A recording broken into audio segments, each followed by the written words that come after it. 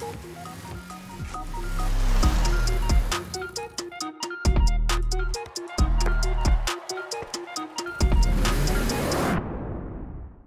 what's up guys? It's Retals and I am back with a kind of post-event regional vlog type slash video. Uh, Scump did them back in the day for COD. I love those.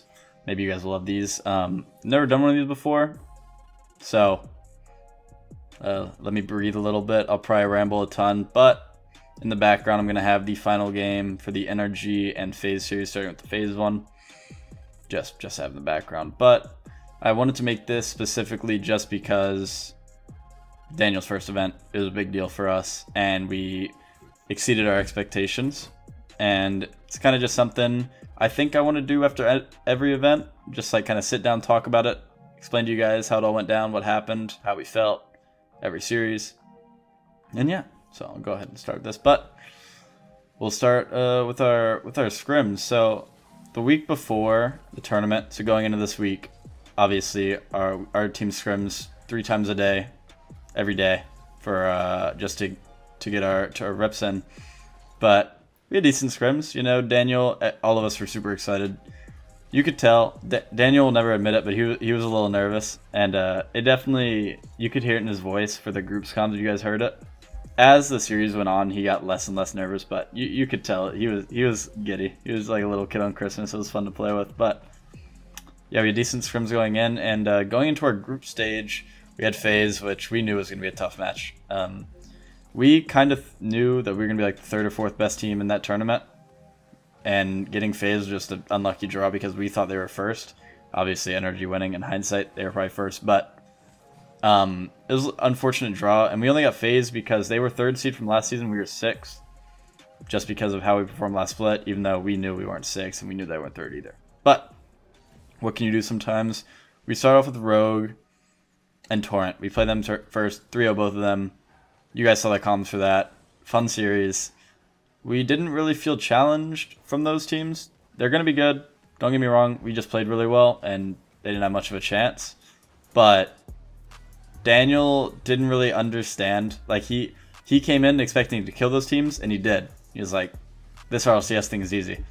It is not easy, Daniel. We will lose to bad teams. We are going to lose to the bubble teams and, like, the semi-pro teams. It, it it's just bound to happen. But he didn't understand that yet, and he didn't really.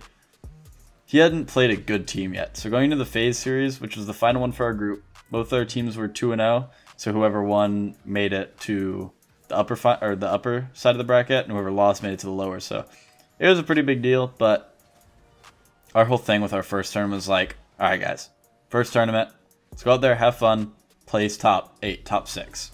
You know, don't stress too much about the result. We're a new team. We're still getting better.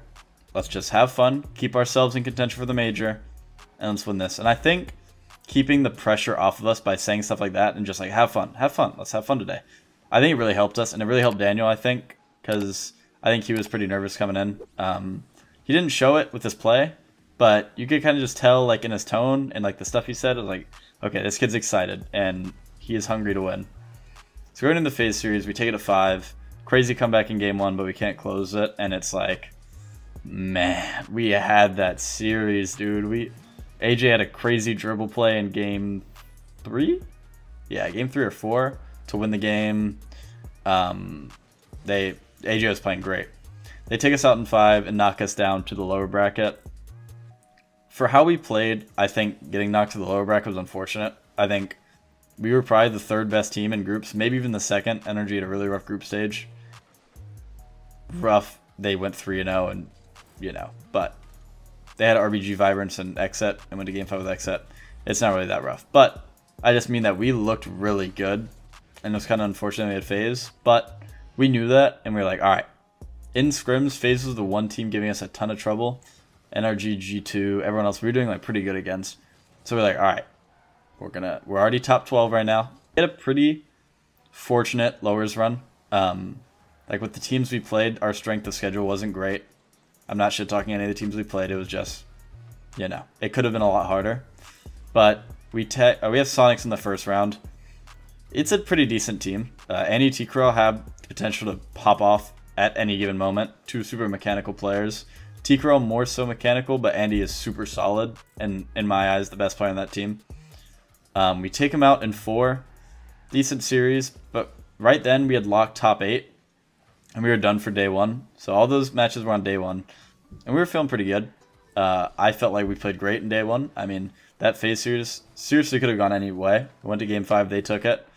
I wasn't mad at it. It was, it was, you know, Daniel's first debut day of RLCS. You can't really be mad about that. Those are three players that have played for years. So we go into day two. Uh, my team actually prepped super hard for our um, Shopify match. I, I've had a bad sleep schedule for the last week, and I've been falling asleep at like 8 p.m. every night. And I fell asleep before replays, but I came in, we scrimmed, they told me what to do. I was like, all right, I trust you guys. Coming for Shopify, a super demo heavy team, and we just we annihilated them. We we just we played so aggressive to the point where they just could not keep up. And I mean, I even did a musty flick. It might be right here in the video. Let's see if Beats can put it in. But yeah, Shopify, good team. I, I think they'll be, I think they're gonna be a lock for top eight, top nine. They they're they're good. And after that, we had already clinched top what top six. So we already top six. We're like, if we get knocked over here, we can't be mad. You know, first tournament. If we lose here, we're still technically like in the major if it ended today, or we're tied for for fifth. We're not mad about this. So we play Oxygen. We got a kind of nice luck of the draw. I mean, for how unlucky we did get with FaZe getting in our group, we got a little luck with Oxygen being our matchup because the other lower or other upper final was FaZe and V1, and we could have easily gotten one of those teams, and that would have been unfortunate. So we play Oxygen, take them out four to one. Notice none of these bracket play matches have been very close. We've kind of been killing every team we've played. So we play Oxygen, good team, you know, they they top their group with envy and complexity, and they can't be horrible. And we we four one them. It was a little closer than we like four one kind of stands. You know, four one didn't give much of a. I didn't give them as much respect as they deserved because they they were a good team, but luckily that ends our day two run, and we were feeling pretty good. Um, the guys were feeling great. I thought we had played better day one than we did day two against Oxygen and Shopify, but Rocket League's a game where you can seriously play different every day, and you you can't stress about like how you play one day, especially when you're still in the tournament. You have you can just prove it, or you can change it the next day. So we come into day three. Same thing happens. I fall asleep at 8 p.m., wake up at like 4 a.m., and teammates do replays. Little irresponsible, I know. I'll fix that. But they told me what to do. I was like, all right, I'm on it. We play V1, and this is a match that I was low-key stressing about. We're already top four, so I'm like, all right, if we get knocked out here, I'm not mad. But when you see your top four and you're playing a team like V1 that you feel like they're a great team. Do not get me wrong, I think they'll be in top five this season. But it's a team that you're like, we as long as we play well, we shouldn't lose to this team.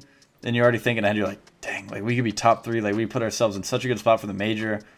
It was a pretty stressful match. And with how calm and BeastMode have been playing, especially in the scrims, they were looking great. So I was like, okay, I'm a little stressed about this.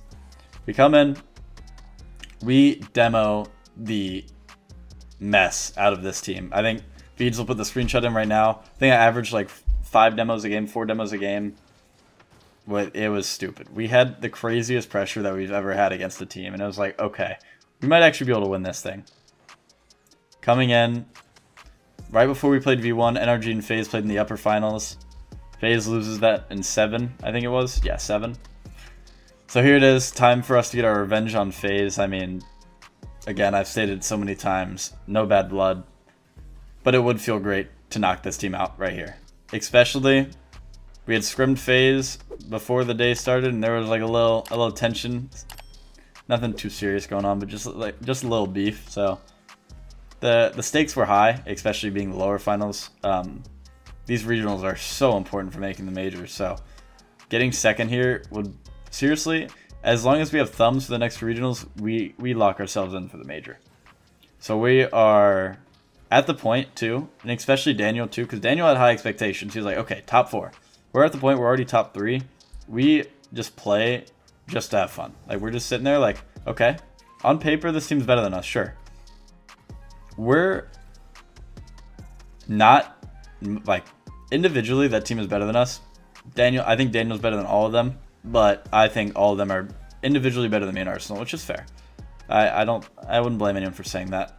But I think we I don't think they do the dirty work as good as we do. I think me and Arsenal are great at playing for the team and playing for what the team needs.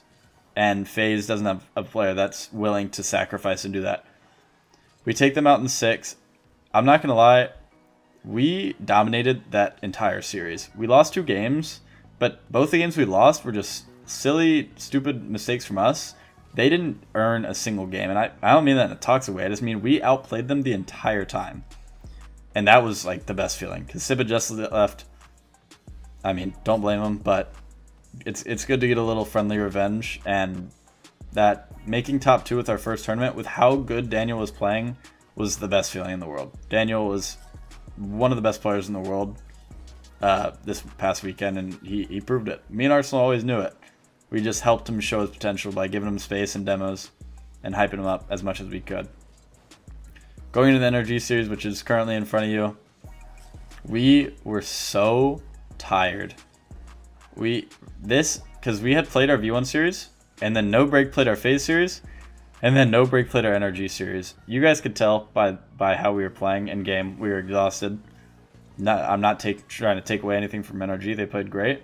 Um, but we were kind of at the point where, like, dude, top two. We've been playing all day. Let's just, and I know I've said it every series, but let's just have fun, seriously. And that's exactly what we did. I mean, I know you, a lot of you guys saw it. We own gold three times in three games. And while I had the first two own goals, I feel like they weren't that bad. And then Arsenal seriously just drove the ball into our net. It's required as well. I mean, they have to find ways to work themselves into a position. What? Oh, Are you no! Kidding? This is a catastrophe. Okay, wait. Okay, so it, here's, Ars here's Arsenal's camera. He's rotating back. Cool. Justin, easy. Oh, oh my gosh. And we were crying. It was it was hilarious. I, I won't lie. Dan, you couldn't see Daniel's webcam, but you'll see in the com video. It, it, was it was a good moment. And I think one thing that definitely changed with picking up Daniel is that we can have like, I love Sip, and he he knew how to have a good time, but we shake things off a lot faster with Daniel. Like we we're kind of like, okay, that was really bad. Okay, I'm back left. Let's go. We got this. It's a great mentality to have. I think this kid is gonna kick some ass and I hope he does it with us. You know, we have, I mean, we'll have this major, next major in Worlds with him at least. So I'm gonna do my best to uh to impress this kid and keep him on the roster. But that is my post regional one vlog. Let me know if you guys like stuff like this. If you don't, I can just crank out another twos video. I just wanted to try something different because I know I loved watching these when I was a fan of COD. So, if you guys enjoyed, leave a like, subscribe, comment. I'll see you guys in the next one. Actually, you should be watching this on the 18th, which is Tuesday. Tomorrow, we'll actually start the bracket comms video. So that should be Shopify, Sonics, and Oxygen. And then Friday, you will get the FaZe and NRG comms. I think both those videos should do great. Our comms were hilarious, especially in the FaZe series with all Daniel's zero second goals. You guys will enjoy a lot. So, Thank you guys for continued support. The channel's been doing insane recently. So, always grateful for you guys. I will see you guys next time. Peace.